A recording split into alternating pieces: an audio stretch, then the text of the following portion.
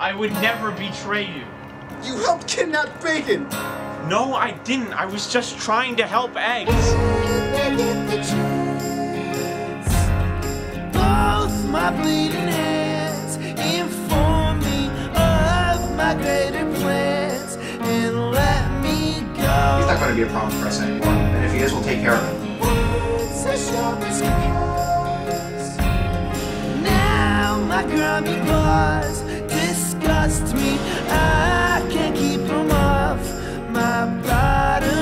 sure you do. You found someone you worked with pretty well, right? Guess I just miss the feeling.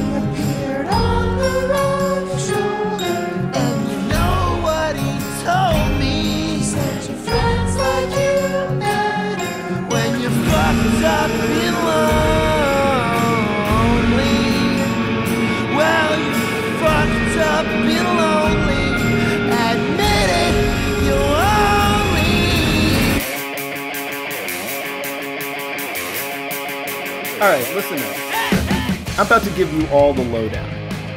It's been almost a year since a brand new smear campaign has started against us and our police department. You might have already heard that they're calling themselves the Kangaroo. Struggle